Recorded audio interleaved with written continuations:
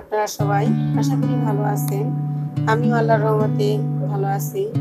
আমি আবার আজকে আপনাদের কাছে নিয়ে আসলাম আর কি জিনিস কুকিংসে নতুন রেসিপি আমি আজকে বানিয়ে দেখাবো চিকেন শাহি কোরমা।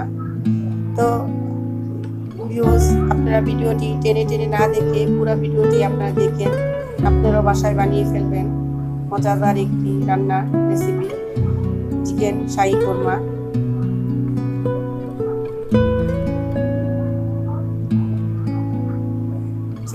তাহলে দেখি আজকে আমার রেসিপিটির জন্য কি উপকরণ লাগছে। আমি প্রথম নিয়ে নিলাম এক কেজি মুরগির মাংস। আমি ব্রয়লার মুরগিটা ইউজ করেছি, এখানে আমি দিয়ে দিলাম দুই চামচ দই আর লবণ, একটু আদা মেখে আমি আধা ঘণ্টার জন্য এটাকে রেখে দেব। আমি একটা চুলায় প্যান বসিয়ে নিয়েছি। প্যানের মধ্যে গরম হলে আমি প্যানে তেল ঢেলে দিলাম। এখানে আমি পেঁয়াজের বেস্তা বানিয়ে নিব। পেঁয়াজটাকে বেস্তা বানিয়ে নিতে হবে আমার। পেঁয়াজের বেস্তা তৈরি করার জন্য আমি পেঁয়াজটাকে লাল ভেজে নিচ্ছি। পেঁয়াজের বেস্তাটা দিলে কালারটা সুন্দর হয়। একটা গ্রান আসে।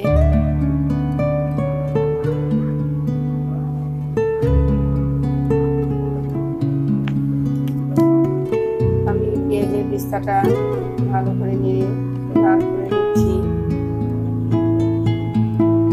আপনারা, আমি ফার্মের মুরগিটা, ব্রয়লার মুরগি ইউজ করেছি। আপনারা দেশি মুরগিটাও ইউজ করতে পারেন। তো ভিউজ যার যেরকম পরিমাণ, সে ওই অনুযায়ী রান্না করবেন। তো, চলুন দেখি আমার পেঁয়াজ বেস্তাটা হয়ে গেছে। আমি কিছুক্ষণ পরে আমি এটাকে নামিয়ে নিব।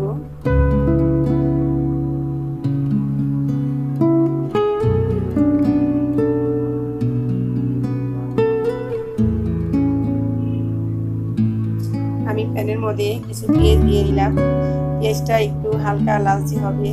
যেন পুরোপুরি লাল না হয়, আমার সেদিকে খেয়াল রাখতে হবে।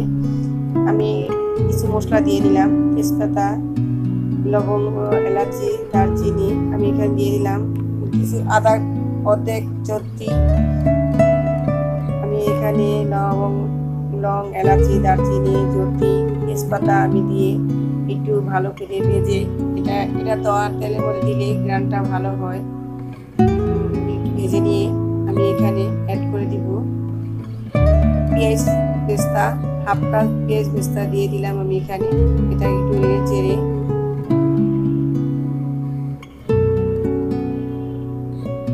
ভাজা ভাজা হলে গ্রানটা হয়। পেঁয়াজের কাঁচা পেঁয়াজের গন্ধটা হয় না, আমি দিয়ে দিলাম।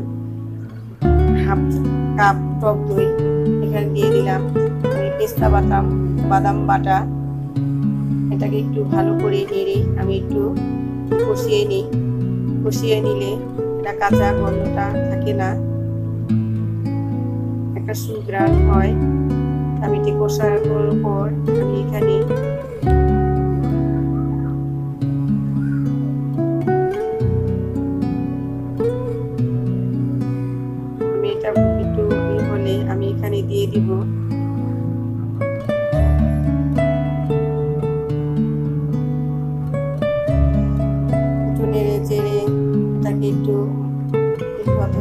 প্রথমে এখানে দিয়ে দিলাম দুই চামচ আদা রসুন বাটা। আদা রসুন বাটাটা দেওয়ার পর আমি একটু মেখে নিই। আমি এখানে দিয়ে দিলাম পরিমাণ মতো লবণ।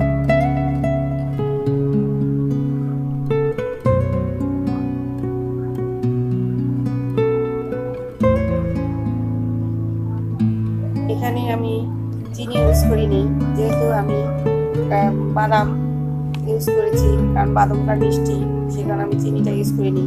তো আমি এখানে দিয়ে দিলাম এক চামচ মরিচের গুঁড়া, এক চামচ জিরের ধনের গুঁড়া আর এক চামচ হলুদের গুঁড়া। আমি এটাকে ভালো করে মিক্স করে নিব। আর এখানে আমি দিয়ে দিব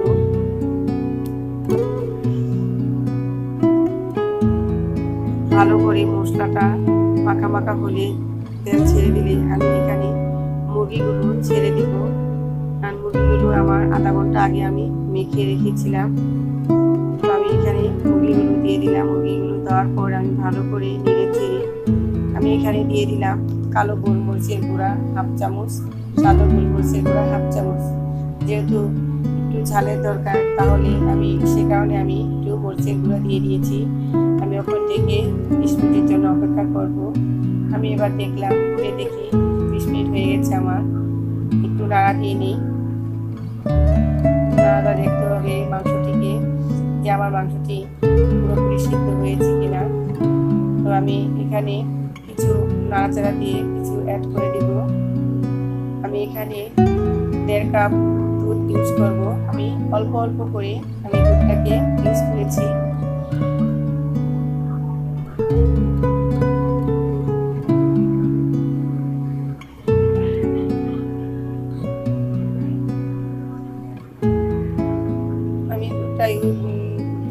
নাড়াচাড়া দিয়ে আমি এখানে কিছু কাঁচামরিচ দিয়ে দিলাম। ছটা কাঁচামরিচ দিয়েছি আমি, আর এখানে কিছু বাদাম, পিস্তা বাদাম আমি দিয়ে দিলাম গ্রানের জন্য, আর বাদামটা স্বাদ বাড়ায়।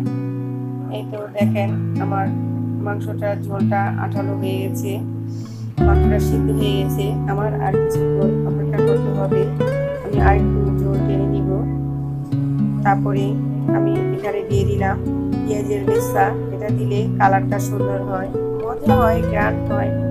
আমি এটার উপরে এক চামচ ঘি দিয়ে দিলাম। এবার চেপে আমি কিছুক্ষণের জন্য দশ মিনিটের জন্য আমি রেখে দিব।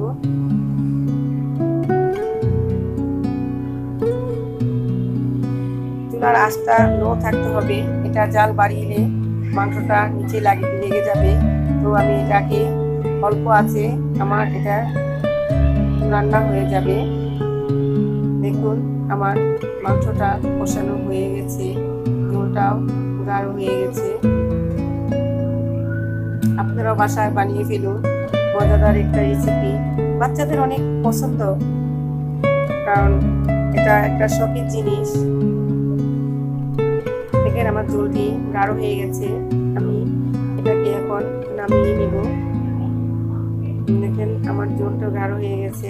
এবার আমার পরিবেশনের পালা।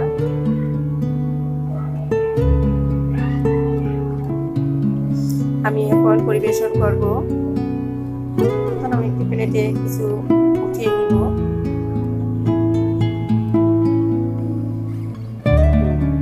দেখুন, আমার আজকে চিকেন শাহি, কুরমা। তো আপনারা বাসায় বানিয়ে ফেলুন, ঝটপট। সুন্দর একটি রেসিপি আর আমার ভিডিওটি যদি আপনাদের ভালো লেগে থাকে, অবশ্যই লাইক করবেন শেয়ার করবেন। পাশে থাকবেন। আল্লাহ হাফেজ।